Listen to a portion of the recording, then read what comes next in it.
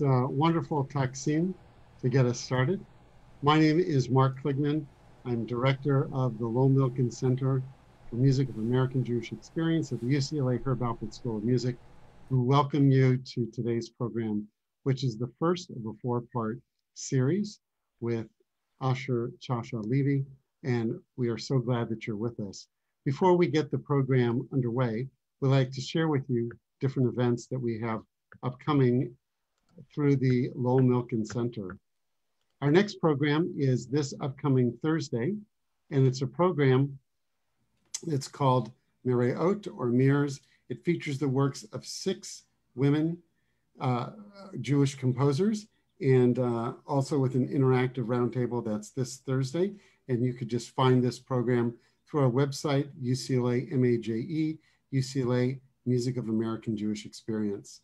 Then we have a two-part Yiddish music uh, workshop featuring Ethel Raim and Sarah Meyerson. We hope you can join us for Sundays, May 16th and 23rd. And then a really unique work, which is uh, George Washington's letter set to music by Jonathan Comisar. And that is on June 2nd on Thursday to Bigotry No Sanction. And then our last program of the year with Ben Holmes, a uh, noted trumpet trumpet player. This will be a album drop or an, a release of a new album. So it gives me great pleasure to introduce our host for tonight's event, Professor Sarah Bunin Benor, who's a professor of contemporary Jewish studies at Hebrew Union College Jewish Institute of Religion in Los Angeles. In addition to her responsibilities and her activities at UCLA, she is also the director of the Jewish Language Project, looking at Jewish languages around the world. So with no further ado, Professor Sarah Benor, welcome. Thank you, Mark. Welcome, everybody. We are in for a treat tonight. Uh, I am the director of the HUC Jewish Language Project. Our mission is to promote research on, awareness about, and engagement surrounding the many languages spoken and written by Jews throughout history and around the world. And one of the ways we're doing this is by presenting concerts and other programs that highlight Jewish linguistic diversity. Now, when we think about prayer, we often think about Hebrew and maybe Aramaic, but Jews throughout history have prayed and done liturgical acts in other languages, languages that they spoke or languages that their ancestors spoke. And Jews in America are continuing that tradition. We continue that tradition by praying in English, Jewish English, but we also continue that tradition by praying in languages that our ancestors spoke. And this is what Asher Shasho Levy is going to be focusing on tonight. And we're so excited to hear his own music as well as some of the recordings that he has found. Asher. Thank you so much, Sarah. Thank you, Mark. Thank you, everyone. Um, this is just really an exciting series for me because uh, this topic is very near and dear to my heart. Um, and tonight we're going to be particularly focusing on liturgy for the upcoming holiday of Shavuot. In the Turkish Judeo-Spanish tradition, it would be said Shavuot, and in the Syrian tradition, they would say Shabuot with a, a bet as opposed to a vet. According to Syrian Hebrew conventions, there's only bet. So um, I'll be pointing out different uh, particularities of pronunciation uh, according to each community. But before I dive into this very particular repertoire of Shabuot in Judeo Spanish from around the Ottoman Empire, we want to situate this liturgy in the context of um, history of Sephardic poetic practice and musical practice that goes back to uh, to Spain before the expulsion, but that's really not the time where most of these works were written. Um, the source of this tradition, much of it, is from the early Ottoman poets, such as uh, Israel Najara, who I'll be talking about a little bit later. But I want to start really with some music. We'll get into um, what this is all about in a moment, but I think the best way to get us going with is with uh, a pismon, is with a song of praise, a paraliturgical song, so a song that is not part of the fixed liturgy, for instance, Shahrit, Minha, Arbit, the morning, afternoon, and evening services all have fixed prayers, and Amidah, Shema Israel, all these basic prayers. Um, in many different communities, there was a poetic tradition around the Mediterranean of different categories of song. Pismonim, bakashot, uh, piutim in general. And then in Ladino, which we'll get on, Judeo-Spanish, we'll get into later, the uh, and romanzas. But we'll start with a, with a pismon that's in the classic Syrian tradition, um, composed by Haham Rafael Antebi Tabush, who basically in Syria and Aleppo in the 19th century, he revived the tradition of pismonim, of creative, poetic, paralit- paraliturgical songs that had been um, somewhat dormant for the past century, I understand. Um, so this piece, Ro'e Ne'emanhu, the reason I'm starting with this, even though it's in Hebrew, I think it's important to understand the Hebrew texts and images that are then referenced in some of these Judeo-Spanish texts. So there's a there's a milieu. There are concepts that are shared among the Mediterranean traditions. So this one from Aleppo, um, like many of the other poems, uh, the stanzas spell out in acrostic the name Raphael from Haham Tabush's name. Um, he was an outstanding composer. He was a scholar. He composed between they, they say between four and five hundred pismonim actually. And something really important to note about Hacham Tabush's work and also most of the different traditions around the Mediterranean is for the most part the melodies were not original. They were contrafacta. They were taken from popular tunes to the extent that Hacham Rafael Antebi Tabush, they called him the thief because he would go to coffee shops, Arabic weddings, social events to listen to new songs to invigorate the repertoire with something contemporary. And that's very important as we talk about these vernacular liturgies because the liturgies that are shared between Jewish communities around the world all speak of things that are in common to Jews. But each community has its own particularities, its own er- interpretation, its own take on a given day or holiday. Um, so this pismon is a contrafacta of a very, very, very famous song called Salam Afandina. It was written by um, actually an Italian composer, Giuseppe Pugioli. Um, and the reason this melody is so famous among Sephardic Jews is it was the national anthem of Egypt from 1871 through 1958. And as a result, you'll see this melody in Turkish communities, Greek communities, uh, Egyptian, Syrian, and then, uh, of course, in the Yerushalmi community of Jerusalem. They use it for the actually the Hakafa of the Torah on every Shabbat uh, uses the same melody. Um, and paying attention to some of the text here, uh, this idea of roe ne'eman uh, is actually reflected in some of the Ladino works that we're going to look at later as pastor fiel. So some of these terms are directly translated from the Hebrew poetry um, into Judeo-Spanish. And this is in a uh, the mode of ajam, major scale, which is uh, associated with uh, celebration and holidays.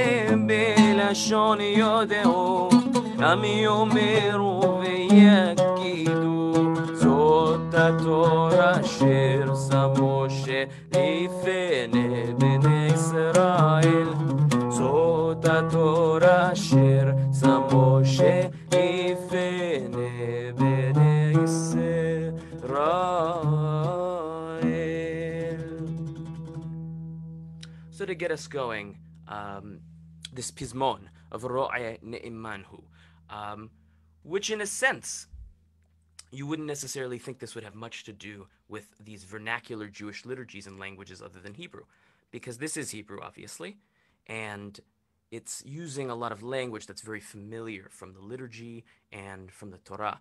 But the reason this is important to situate the vernacular liturgy in this context is because of how much it draws from a common tradition throughout these different languages in the Ottoman Empire. So, Syrian Jewish uh, texts in Judeo Arabic share a lot of imagery and a lot of concepts with uh, these different Judeo Spanish texts from neighboring communities, such as uh, the Constantinople community and the um, Salonika, Rhodos, all of these different uh, communities share a lot in common.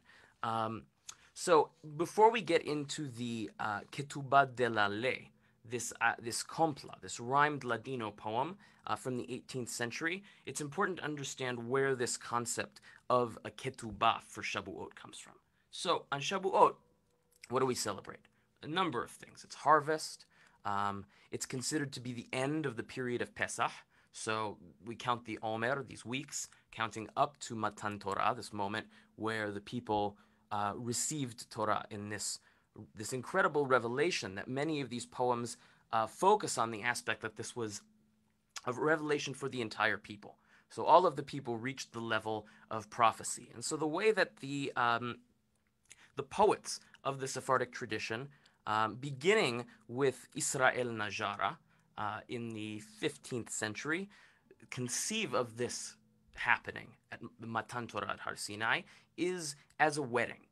So these texts were written, um, the ketubot, these texts that are marriage contracts basically between God and the people of Israel, and um, explaining these different elements of the contract and what each party would have to do for the other. And it's really quite quite a beautiful a beautiful tradition. So I think it's it's good to start with the original ketubah de la ley. Um, as they would call it in the Ladino speaking communities. It's the Ketubah Shel Matan Torah that we have. Um, and in Syrian communities, this would be sung uh, before the taking out of the Sefer Torah. In Turkish and Greek communities, where the Ketubah de la Ley is done in Judeo Spanish on the first day, there's a, a tradition to sing the Ketubah in Hebrew of Najara on the second day.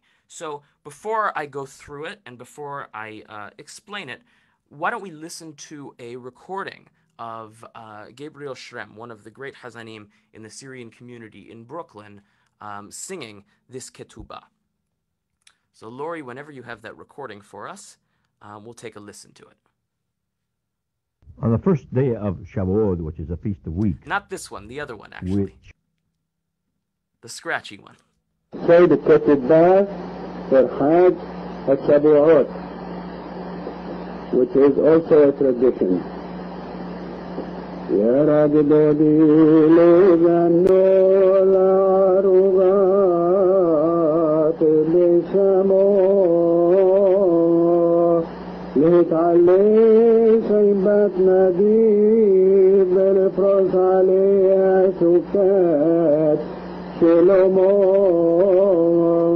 حقيون أسأل أني لي سلبو فرتي بأفني متى فرساب برخمو بنت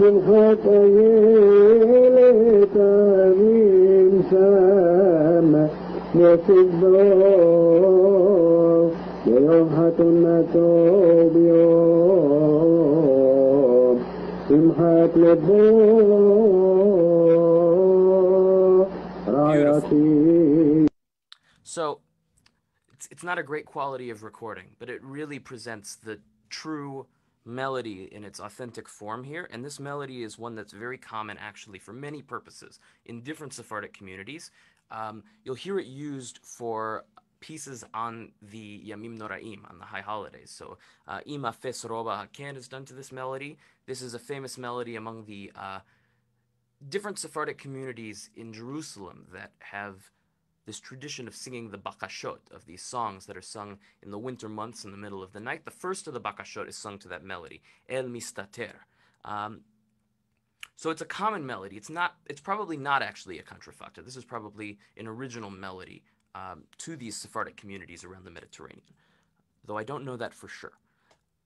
The text here starts Yarad dodi legano la arugat besamo. So my beloved. This is, these are all images from the Song of Songs that are then being. Um, so the Song of Songs is interpreted by many rabbis as being about not, not like this erotic love poem, but sort of an interpretive notion of, of a relationship between God and the people Israel. And that's where this concept from the, for the ketubah of Shavuot comes from. So Yarad dodi legano le'arugot besamo. My beloved has gone down to his garden, to his bed of spices. Um, Lehit ales imbat nadib, lifros sukat shelomo. To rejoice with the daughters of nobles, of uh, important people, and spread the sukat shalom, to spread this shelter of peace over her. And apiryon asalo amelech shalomo, King Shalomo made the canopy for him. Um, very, very beautiful. And we'll, we'll, I'll sing a couple verses of this, and then we're going to move on to the um, Judeo-Spanish ketubah. So I'm going to sing this two ways. I'm going to sing. Um, the first is the Yerushalmi and Aleppo melody, which we just heard, and then I will transition into a different maqam so that we can hear some of the melodies that come more from Western Turkey, which are the same melodies as the Ladino ketubah de la ley.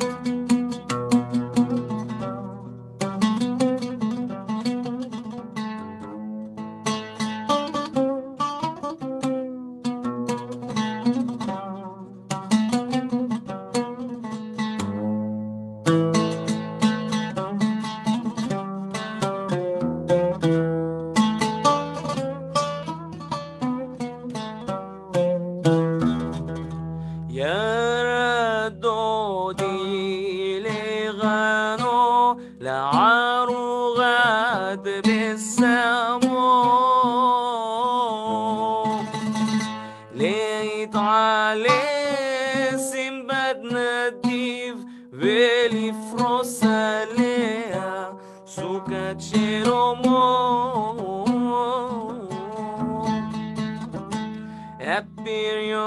celos.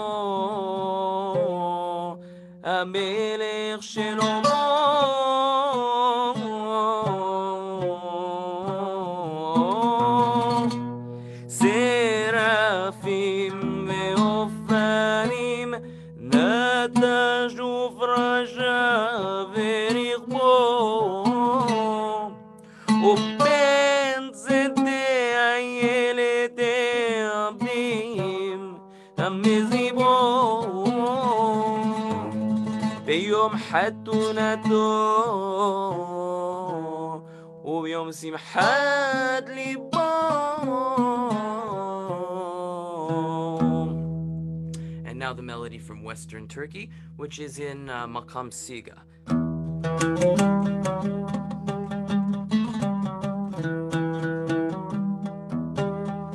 Makam Siga or Sika, as it's called in Arabic, is an important makam in all of the various Jewish communities of the Mediterranean, uh, of Sephardic origin and also of Mustarab origin, of uh, I guess indigenous, you could say, to the Middle East origin, Mustarab, um, because this is the makam that's associated with Torah. Uh, the Torah is chanted in the Greek, Turkish, Syrian, Jerusalem, Egyptian traditions using uh, a melody that's in this maqam. So, in these communities where these poems are sung on Shabu'ot, in that maqam, there is a, uh, a spiritual meaning to it. It's alluding to the Torah. Similarly, the melody that we just sang is in a maqam called Hosseini. which is associated actually with the Ten Commandments, and the Arabic word hosan is uh, has to do with glory and and um, something that it's a quality that is associated with the Torah. Um, so here's the uh, Western Turkish melody.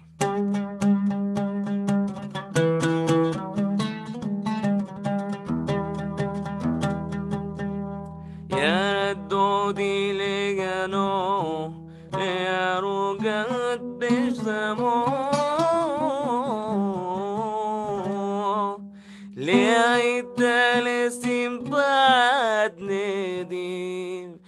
i Rosalia su l'umor Abirion Assan wa melejin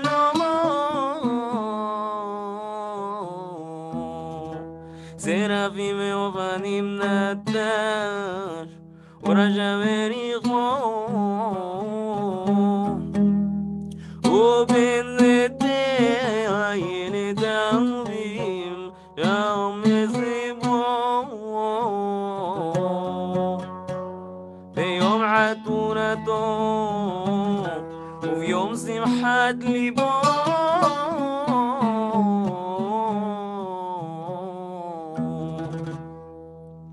Okay, so this ketubah is the basis of the extremely popular Judeo-Spanish piece that's sung on Shavuot that is uh, the fo- that's what I'm going to be focusing on mostly today, called the Ketubah de la Ley. So the Ketubah, the contract of the law, de la Ley. So this piece was written it's a first of all, it's a compla, which is a type of Judeo-Spanish song. So most of the Judeo-Spanish songs that are sung today that people know, uh, La Rosa enflorece, Los Bilbilicos, Cuando el Rey Nimrod, uh, etc., etc. These songs are romanzas. And so a romanza is sort of a romantic popular song, whereas these coplas are uh, more religious. This is a classic example of what we'd call paraliturgy. So these are pieces of liturgy that were written written for various reasons. So why would you have a ketubah that's written in Judeo-Spanish? Well, many people were not fluent in Hebrew and didn't really understand, in particular, women and children. So at this time, there was less education that was done for women, uh, and so many of them many of them could read but didn't understand Hebrew. And so these, um, in fact, it's actually been suggested, uh, I believe it was David Bunis who suggested, that this type of liturgy started to become popular in the Sephardic world um, when they saw the success of Tchines and Yiddish, basically Yiddish paraliturgy for women that was published around Europe by the same publication houses in some cases that printed these Ladino works. But in any event, this Ketubah de la Ley was written in 1753 at a time where there was a great flowering of Sephardic literature, particularly that in um, Judeo Spanish. And this piece basically, like the Hebrew Ketubah, it lays out this notion of a contract between God and the people of Israel, and it it connects everyone there who would understand this in their native language to this sort of chain of tradition that Shavuot celebrates, a, um, a chain of consciousness, this historical chain. Um, much like some of the other pieces we've looked at today, the author's name is spelled out in an acrostic. It says Ani Yehuda Bar Leon Kalai, uh, and it is based on the piece that was written by Najara that I just sang, because both of these songs speak of this covenant at Sinai as the marriage. So uh, before I uh, play it myself, I think it would be good to listen to the version from uh, Sephardic Bikur Holim in Seattle. So many of these traditions have been carried on into the New World uh, with particular strength in Seattle, where the Sephardic community is very old, it's very well established, and there are two synagogues. One, Bikur Holim, is mostly um, people whose ancestors came from Western Turkey, and the other one, Ezra Bessaroth, is mostly uh, individuals whose ancestors came from the island of Rhodos. And the two traditions are very similar, but they're also different enough that the um, there's a lot of beauty in those differences. And in fact, today, for all of these texts, I am using a mahzor that was published by uh, Hazan Azose in Seattle. Um, you can see it here. This is Mahzor Zichron Rahel um, from the Seattle Sephardic community, and it is a, it's a wonderful publication, a beautiful, beautiful book that has within it many of these Ottoman Judeo-Spanish texts, such as the Ketubah de la Ley, as well as an interlinear translation of the Book of Ruth.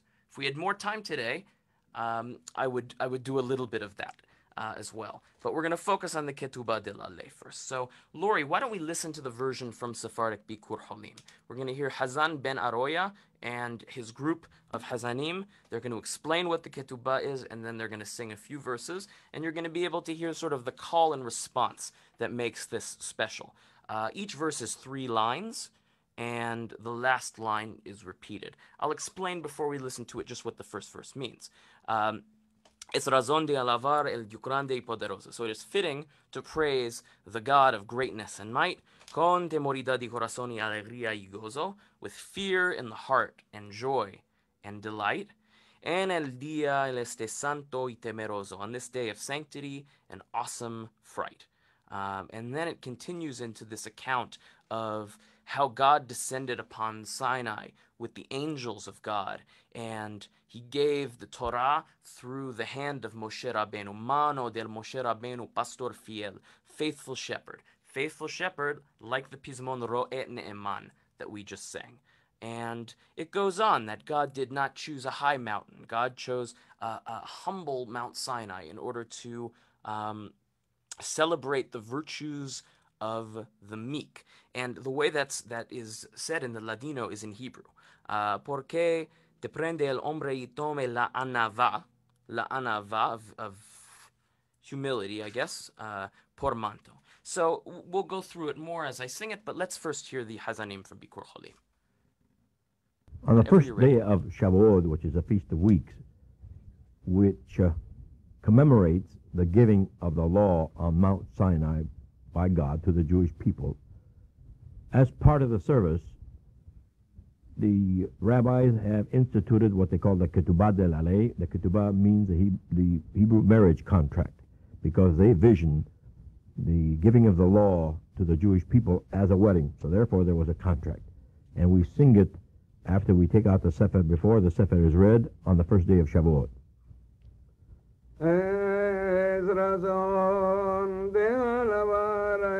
Grande y poderoso,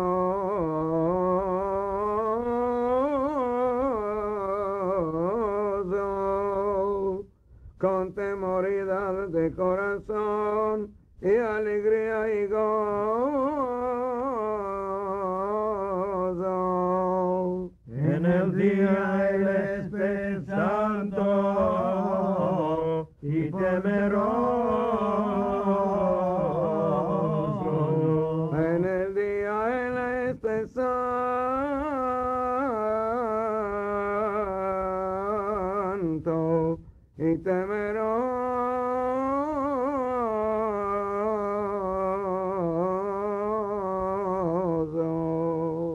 En este día bajó el yo en Sinai y mil años de Malachim con él.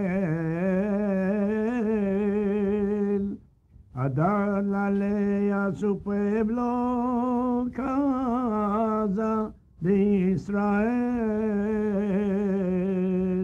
Por mano de Moshe Rabbeinu, pastor. Beautiful. mano de Moshe. So we get a beautiful sense of this Ketubah de la Ley and the way that it's chanted in these communities. Um, traditionally, as, as the Hazan mentioned, this is chanted before the reading of the Sefer on the first day of Shavuot. Um, I'm going to play a little bit of this in the way that I learned it, the Western Turkish tradition as comes through Istanbul. And then we'll listen to another uh, regional version from, from Western Turkey. Um, one of the fascinating things about this song is um, it's there are many many recordings uh, by women of this piece. So this was a piece that was uh, popular among the unique repertoires of Jewish women in the Ottoman Empire. Most of that repertoire was in Judeo-Spanish rather than Hebrew, but this was a widely widely uh, published piece, and it was very well known in all of the different communities um, that were Judeo-Spanish speaking. So to avoid any any uh, confusion, I've been talking a lot about uh, Syrian, Aleppo Sephardic Jews. These are communities that are Sephardic in the sense that they come from Spain, but they're not culturally part of the Judeo-Spanish milieu that's more in Western Turkey and in Greece. But that being said, I think more is made of the differences than the similarities, and it's very good to understand that most of the customs are very, very similar, except for the fact that in Western Turkey, Central Turkey, you ha- and, and in Greece and in the Balkans, you have this use of Judeo Spanish that died out in Syria by the 18th century. So by the time this was written, uh, people weren't really speaking this anymore in Syria. The Turkish version of Ketubah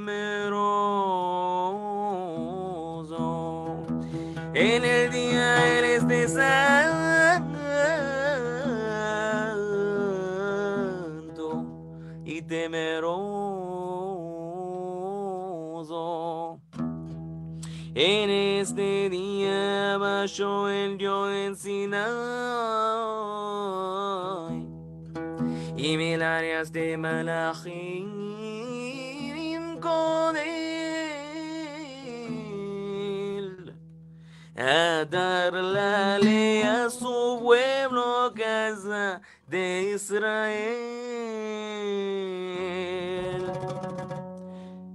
por mano de Moshe Rabbeinu, pastor fiel, por mano de Moshe Rabbeinu, pastor fiel.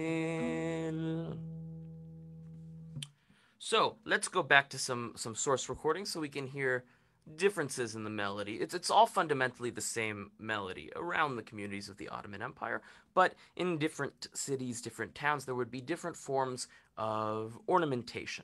Uh, the Turkish music has a system of makam of makamlar, as they say in Turkey, makamat in Arabic, that are these musical modes. The difference on one foot, al regel ahat, the difference between Turkish and Arabic comes down to uh, the microtonal ornamentations and the tuning. So Arab, Arabic music is lower tuned than Turkish music, and Turkish music has a system called commas, where every whole note that you would have every every like a like a G for instance in Western music is broken up into eight. So there are eight eighth tones, and these sort of micro microtones give the quality to Turkish music that's really essential. And all of these pieces in Judeo-Spanish are they take the the um, the style. They're in the style of classical Ottoman music. Um, so there's there's actually a lot of similarity between um, Sufi Turkish singing groups that you'll sometimes hear singing these um, you know illahir, these songs of uh, of the Sufi tradition, and they're done in the same way actually as these Judeo-Spanish songs. So let's hear. Uh, we're talking about how this is largely uh, intended to reach women and other people who were not um, part of the, the in group, you could say, in the synagogue. So let's hear a version by, um, I believe, Berta Aguado from, uh, from Çanakkale in Turkey. Um, and you'll hear some slight differences in the melody, a little bit more ornamentation, uh, and certainly a beautiful version. So, Lori, whenever we're ready for that. Es de alabar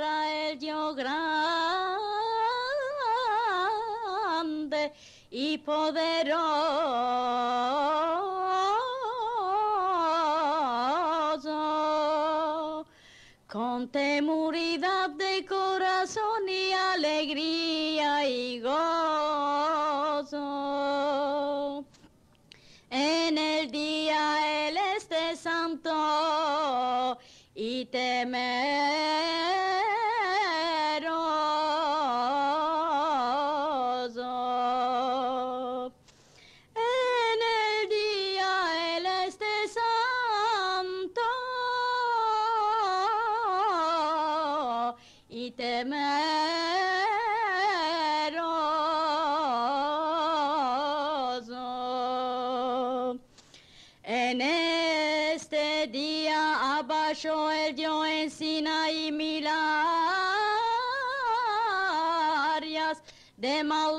Malachim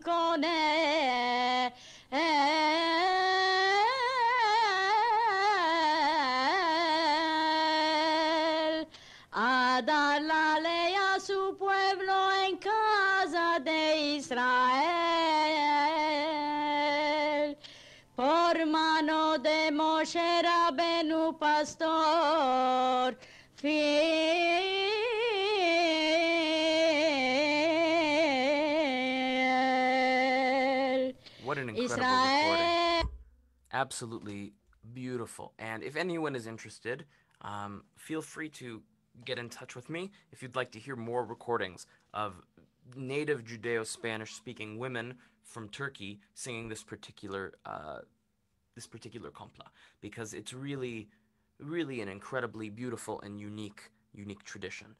Um, so I'd like to actually, um, before I play a little bit more, I'd like to give everyone a little bit of a sense of of, of the context um, in which this would happen. What is Shavuot looking like in Ottoman communities uh, at the time when these pieces were written? Uh, so I'd like to read a few quotes that I've taken um, from different different people uh, from uh, the Ottoman Empire who who remember Shavuot. So uh, in the wonderful book. Um, a Jewish voice from Ottoman Salonika, uh, the Ladino memoir of Saadi Besalel Levi about this incredible Ottoman musician. Um, wonderful book by Sarah Abrevaya Stein, Aron Rodrigue. Really, just an incredible book. I highly recommend that everyone uh, look at it. Um, he Saadi, this this musician, this this well-known musician uh, of the Ottoman Jewish and Ottoman world, recalls what Shavuot was like. He says, My father was religious, and one Shavuot Eve, he went after dinner to attend a study session, according to the custom of the Jews when they would go all night to the synagogue and no one stayed home. So this is referring to the, the Tikkun Leil Shavuot, this, this gathering where different texts from Torah and the Kabbalah are read all night. Um, that time of the year, nights were shorter. Dawn broke early. Around 6.30, people would come back to home to eat the enchusa, this cheese and spinach pie, uh, the fritada, with some sotlach, the rice pudding, and then go back to sleep until about 2 p.m. in the afternoon. Other people went touring the parks, while lower class peoples with their wicker baskets filled with cheese pies, rice pudding, raki, huevos aminados, went with their families to the parks on the outskirts of the city to eat, to get drunk, and fall asleep on the grass. Most of them returned home sick. So this is a little taste of what maybe we could have we could have had in in, in Ottoman Salonika. Um, Another another quote from, from Rabbi and historian Michael Molho from, from Salonika in his book Traditions and Customs of the Sephardic Jews of Salonika. He says, They would pray and spend the night of the festival in holy readings and songs of joy. They would then arrange to spend some time outside the city, in the middle of green fields under a blue sky. So there's this this constant uh, element of outdoor recreation on Shavuot. Actually, very early they would leave the city via one of the gates of the city walls, taking with them baskets full of these provisions of. Uh, of the enchusa, the, the fritada, the huevos aminados, the salads, and the sotlach, prepared with goat's milk and well cooked so that the pudding takes on a light coffee color and the surface is full of wrinkles, like the cheeks of an elderly lady naturally there is no shortage of raki. So really a joyous time uh, in the lives of these communities um, to be celebrated. And we're really, I'm really grateful. Uh, in particular, in regards to what we're talking about today, to the community of Seattle that has preserved the particularities of these different customs by com- micro community, by city, by island, etc. Um, you know, here in Los Angeles, we have Sephardic Temple Tiferet Israel, which preserves many of these Turkish Judeo-Spanish traditions. But that that community is a merger of two communities, like in Seattle. Um, how there are two communities here in LA, those Judeo-Spanish speaking communities merged. So there is um, it, the, the the here in LA the tradition is being uh, preserved, but it's not not the not the minute differences, I guess you could say, between Rhodes and Western Turkey, between you know Smyrna and Constantinople. Um, so really, really many thanks to that community, to the Hazanim, Hazan Azose, um, and others who really do do a lot to preserve this heritage. Um, and with that, I, I would love to open it up for some questions at this point. Wow, thank you so much, Asher. Well, before you give uh, take questions, as people are thinking of what they would like to ask, I just want to say thank you because we learned so much about Shavuot or Shavuot, and we learned so much about uh, various Sephardic communities and about the practice of prayer in other languages. And I like that you brought in the uh, tradition of women singing and specifically chanting uh, for other women. Mm-hmm. Um, and so my my question is about that. To what extent was this Ketubah de la Ley? Um, gendered? And would women sing it for other women? Would men sing it in the synagogue for men? Were women present in the synagogue? Can you tell us a little more about the gender angle? Yeah, so definitely, like all Sephardic communities, um, I would say highly gender segregated, but at the same time, not necessarily. Um, to the same extent that you would see in, in particularly among the Hasidim of Eastern Europe, where um, you know, you wouldn't have men and women necessarily even sitting together at the same meals singing the songs. In the Sephardic tradition uh, of the Ottoman Empire here, the men would sing it in the synagogue, and the men would be the ones who would sing the text um, before the reading of the Sefer Torah, which of course was also read by the men. But it was done. So, so I, I, I've sort of ascertained it was done largely for the benefit of the women, who would then sing it amongst themselves as well. Um, so there, there are definitely different angles. The women's tradition was more private and more among the women themselves for themselves, but there's overlap because the same pieces would be sung by men and women in the synagogues. Here, these koplas are shared, but um, as I mentioned earlier, there's the romansas repertoire, these sort of romantic songs that before the era of recording really were the um, domain of women. And then starting with urban Ottoman recording in late 19th, early 20th century, these songs get picked up by men. So really, there's more credit should be given to the women for preserving a lot of these songs in Judeo-Spanish, because in many cases the men weren't doing it. They were um, so there's the maftirim repertoire, which in Turkey is like the same as the pizmonim repertoire in Syria, and so there would be a men's choir in the synagogue, and they would sing all of these things. And many of these pieces in Judeo-Spanish were more, um, yeah, more the domain of the women. Great, thank you. And people asked for the names of the two books that you mentioned. I think it was Yes. A Jewish Voice from Ottoman Salonika, that's right? Uh-huh. Yes, and that's the one. Mahzor Zichron Rachel. Yes, and Okay. um, I, I put the yeah, titles yeah, in, those are in the the chat. Wonderful. Okay, now, uh, what other questions do you have? Feel free to put them in the chat, anyone. Also, someone wants to know how to get in touch with you, and I said we'll be posting some of these, all of the recordings that you have access to that are in the public domain uh, on the Jewish language website, as well as the images of the texts themselves. Um, and if people want to get in touch with you, what should they do, Asher? They should email me um, at, you can email me at asherlev at usc.edu. You can connect with me on Instagram, Asher Levy, um, at Asher Shasho Levy, or on Facebook. Uh, and I just welcome engagement over these really special and precious texts and prayers and, and liturgy. Great. Oh, I see Uh, a question here. yeah, go Someone is ahead. asking me, what is my heritage and background? Um, so I'm half Halabi Syrian. My, my father comes from uh, the communities of Aleppo. So meaning Aleppo and also the surrounding towns that are today in Turkey, uh, Kilis and uh, Gaziantep. Um, my mother's family are Ashkenazi.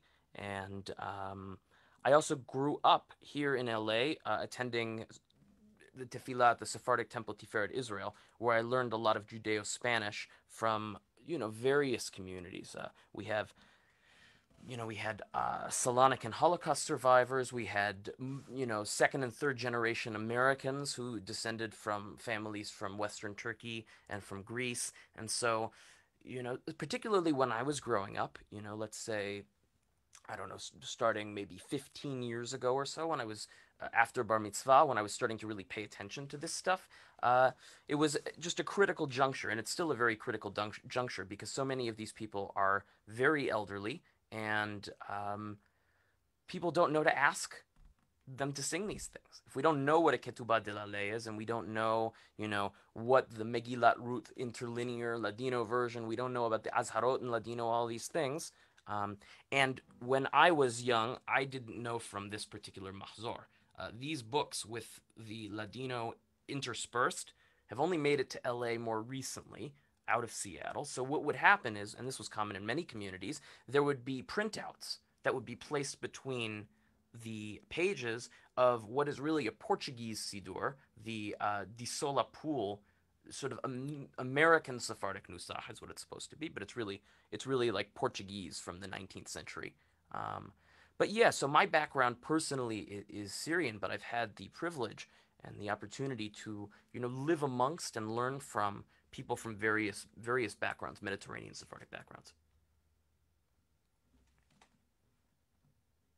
Okay, there's also a question about your history with the oud. How long have you played and how, how did you learn it? Hmm.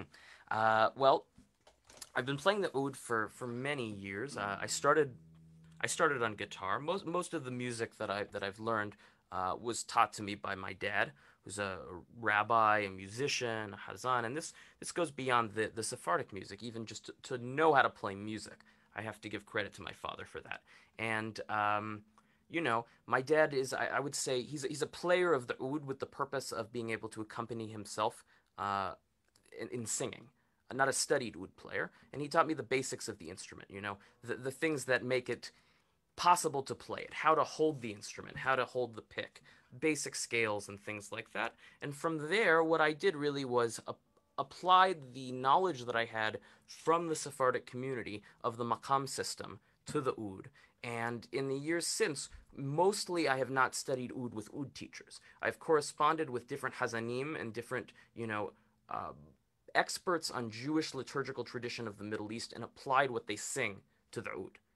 So um, today, because I'm focusing mostly on the repertoire of Greece and Turkey, I'm playing a Turkish oud, which is tuned higher. It's tuned to E like a guitar, and it has a particular sound that um, it's it's just it's the sound of the music. It's a little brighter, it's a little higher, and the ornamentations tend to be more of this variety. Very fast, almost like you would have on a on a tambur or a saz. That sort of thing. As opposed to an Arabic music, it's a little bit more. Uh,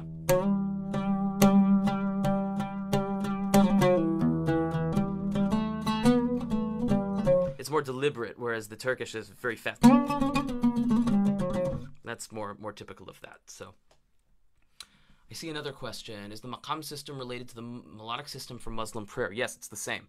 So you'll hear, you know, the adhan will do the, the call to prayer in Nahawand or in Bayat or in Sika or whatever. It's exactly the same as among Jewish communities of the Mediterranean who have different maqamat for different um, for different purposes, basically. So in the Turkish Sephardic community, um, the maqamat are preserved and they are uh, they're used and they're known, but it's not the emphasis that there is on I guess you could say on theory, really, that's maintained in the Syrian community. Which, you know, if you go to Brooklyn to house of someone who is either Hazan or is involved in a minyan or something like that, there'll often be a calendar that lists the maqam of the week, the, the sub maqam of the day, things like that. In the Syrian community, every service of Shavuot is divided by a different maqam. So the first evening is different from the first day, which is different from the second evening, so on and so forth.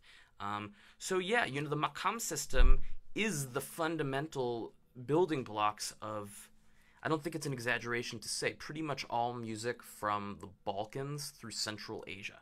You know, you're not gonna. I, I've had the tremendous privilege to be able to make music with uh, master musicians from Western China, uh, of the Uyghur people, and we did not speak any language in common whatsoever, but they use a system called mugham that's based in the Arabic maqam as was filtered through Persian influence. So even in Western China, there's something that is familiar, that feels like home. Yes, yeah, similar to the different Ashkenazi Nusach for each holiday, Shabbat, Rosh Hashanah, etc. So similar, but more. There's more precision to the way the maqamat are, are used because there are, you know, there's for, for the for the Ashkenazim. Please correct me if I'm wrong. There's, uh, you know, there are a couple different nusahot for Shabbat. There's one for Friday night. There's one for Saturday. A couple for Saturday morning. There's one for mincha. Then there's the Shalosh Regalim one. There is the Yamim Noraim 2, I guess, and maybe two sub ones within each one. But imagine if you had a different nusach for every single Shabbat of the year. That's another level. That's, and so as a result, there are. Oh, how do, how do I say this diplomatically? Um, I guess, okay, there are Sephardic Hazanim of the Jerusalem style who are more stylists and tend to be fancier but less precise in terms of actually you know they might do the same makam every week and they might ornament it differently every week but they're not as well versed in the Yerushalmi tradition as the Syrians who came directly to America or Latin America and brought those old country traditions. Same thing oftentimes in Israel among Turkish Jews. You will find their music to be very Arabized, which does not reflect the actual sound of Ottoman Jewish music. Um, so in Seattle, some of these, you know, you think that you hear the accent of the people speaking. These are, you know, in some cases second and third generation Americans, but they do a better job at preserving the old country traditions of their grandfathers because there was no competing similar tradition, basically.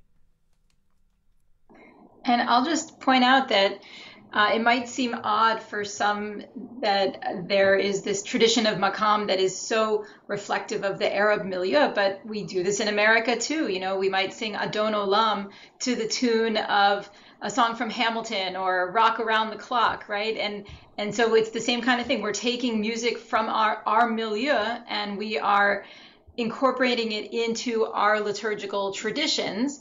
Uh, now, who knows if uh, 400 years from now, people are going to be singing Adon Olam to rock around the clock as a, a remnant of the of Minhag America.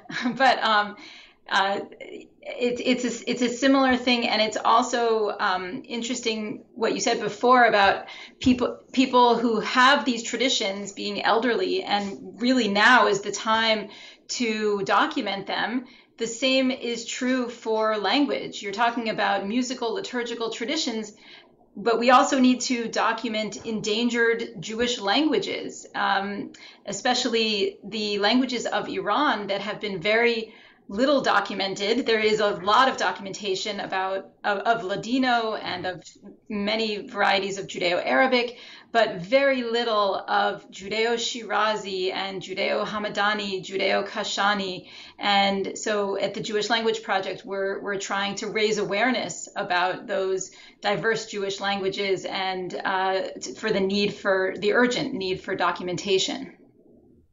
Yeah, definitely. And and to go back to your point about uh, you could say like Nosach America, um, the Syrian community is it's I think this is very very important to note how the Syrian community sort of exists with one foot in a you could almost say an idealized space of um, of their past from different eras. So it's not a real representation of Syria per se.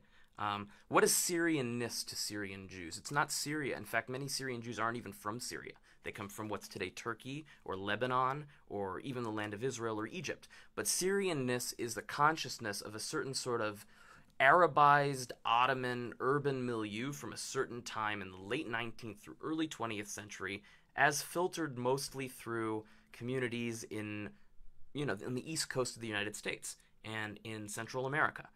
I have a friend who traveled to Israel a few years ago, and knowing what I do with this music, started asking people about Syrian Jews, and he said most people had never even heard of it in Israel because they've sort of been lost to the greater Mizrahi consciousness. Whereas in America, you're SY, you're Syrian. It's like a it's it's a thing, um, and it's also as I mentioned, it's it's specifically Syrian American. So you would have had melodies that um, in the early 20th century, certain Strauss waltzes, Sousa marches, patriotic songs, God Bless America, even Christmas carols were all set to Pizmonim. And this is a part of the tradition that isn't necessarily dwelt on quite as much because it's it, it, it's people don't know how to necessarily approach this. Do we want to say this is, uh, you know, an assimilation or what is it? The way I look at it actually is this is just a continuation of exactly what was done in Syria. People listened to melodies, they heard them, they liked them, they wrote Hebrew words to them. So it may seem a little awkward to hear, um, oh, what's the one? It's a Christmas song. Um, I'm trying to remember what the name of the Christmas song was that uh, maybe my dad will remember. O Tannenbaum. O Tannenbaum. Thank you, Mark. That's yes, that's the one. It's that uh, O Tannenbaum has a pismon and it has an Adon Olam setting. Right.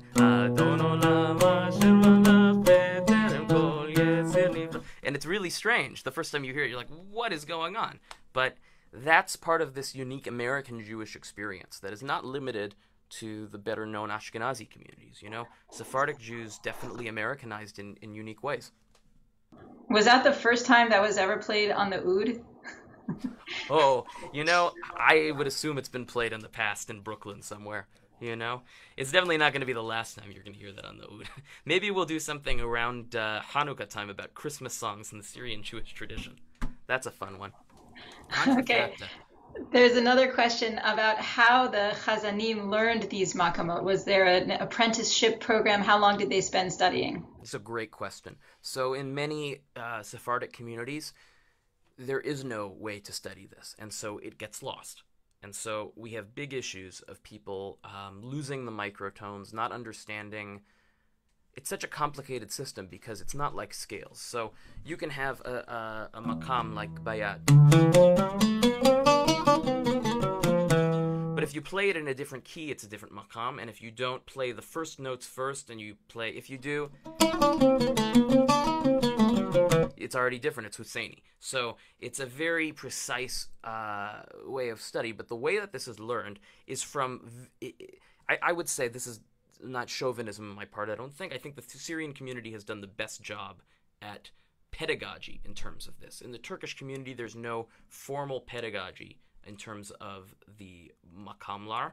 Um, things are sung and people learn it that way. Whereas in the Syrian community, people study makam by makam from a very young age. So, so elementary school children, when they learn how to chant the Torah, you know, they learn like the the ve'ahavta, ve'ahavta, et Adonai Elohecha bechol levavecha u'chol nafshecha, chol meodecha. That's siga.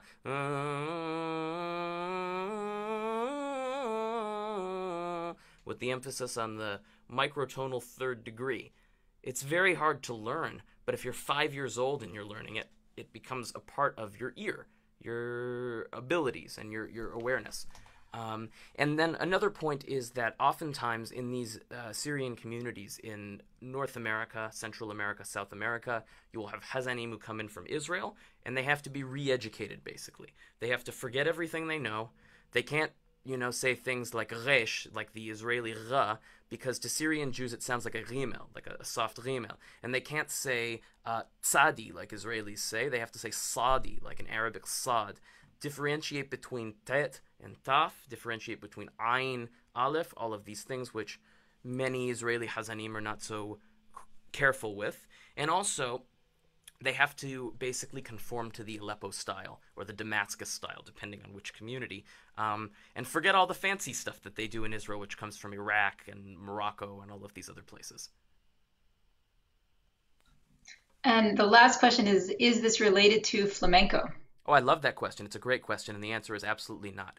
Um, I find that there's a lot of similarities between Sephardic music and flamenco music that are, I don't want to say they're coincidence. There may be accidents of geography, I would say, but flamenco music, which I am in no way an expert on, I believe it is a more modern form that significantly postdates the expulsion of Jews from Spain. We don't really have any music that comes from Sephardic Spain, by the way. Very important that you not be fooled by people trying to tell you that 20th century songs are 15th century songs. This is very important to me. If you have any questions about any of this, uh, you can ask me, and I can also ask, I can give you information of other people who are actively researching this, but um, I think that's very important. Uh, there has been I don't think it's good or bad. It's an artistic choice. There has been definitely a move to recording lots of Sephardic music in a flamenco style, which, in my opinion, it sounds nice, but it's it's problematic for various reasons. This is music that has a style, and that style is Turkish music of the early 20th century. So, and Greek as well. So you'd be hearing instruments that were common to Anatolia, to Asia Minor, to the Ottoman traditional ensembles. Like I have behind me here, I have a lavta I have a saz, and I have a chumbush. And these are all instruments that you would hear. You can hear them on recordings, in fact. Haim Effendi, um, you know, Isaac Algazi, these early recordings from the early 20th century. Um, but there's been a trend towards recording, I would say, Sephardic music in two styles, primarily, neither of which I'm fond of flamenco or medieval. And they can sound good, but they have nothing to do with the um, with the music itself. I would say that Moroccan Jewish music has more in common with flamenco, um, geographically, but also in terms of the fact that both are non-microtonal systems that uh, share something of the music of the of the Middle East and North Africa. That's very vague, but I'll just I'll just show you. So in Morocco, you have something called called Siga Spanyolit. So nothing to do with the Siga that we did today. Siga Spanyolit is a flamenco scale, basically. So, so it has two thirds. So it's that.